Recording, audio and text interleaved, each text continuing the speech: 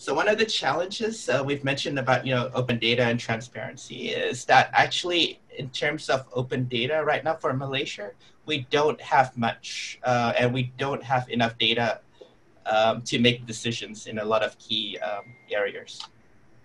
Um, so it makes it hard to make effective policy and it's not, and the COVID situation now is actually making things even clearer. Uh, I mean, is actually showing just how difficult this problem is. Uh, if we're going to do welfare aid, uh, how do we get it to the different communities? Um, what happens if they don't have income? Um, is there enough data from the taxation department? Uh, what happens if they're undocumented uh, migrants? What happens if they're unemployed? Uh, where are they? These are the sort of things now that make it even more important um, on why we need to have um, you know open data and also collaboration because um, data is not enough within specific groups.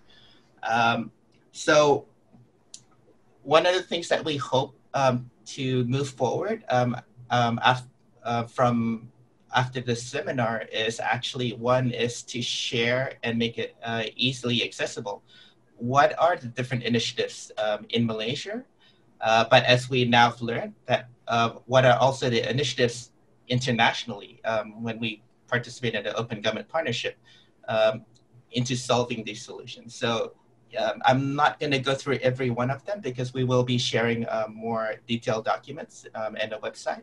Uh, but uh, just to have a quick overview of just some of them, we do actually have a digital government services in Malaysia. Um, it's called My Government um, to provide um, a lot of the things that we need um, in terms of access to government services um, on online. Uh, we do have a public sector open data initiative. Um, ben has just shared already, and as well as Taryn, that uh, there have been efforts already in terms of um, making procurement more transparent, both at the federal and state level. Um, there are several initiatives um, for working on health and data research, um, both within the medical uh, research community uh, for government, uh, but also in the academic field. Um, there are efforts in terms of providing digital education. Um, other civil partners, uh, um, such as uh, C4 and the Center for Independent Journalism, along with the legal services um, department um, are working on an FOI enactment. Uh, so that was one of the issues um, on Malaysia not being able to uh, be uh, eligible as the OGP uh, criteria.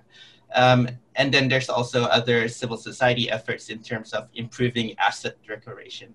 Uh, here's some more examples in terms of you know the uh, opportunities for collaboration um, and where um, where the key participants will be. So definitely will be our elected representatives.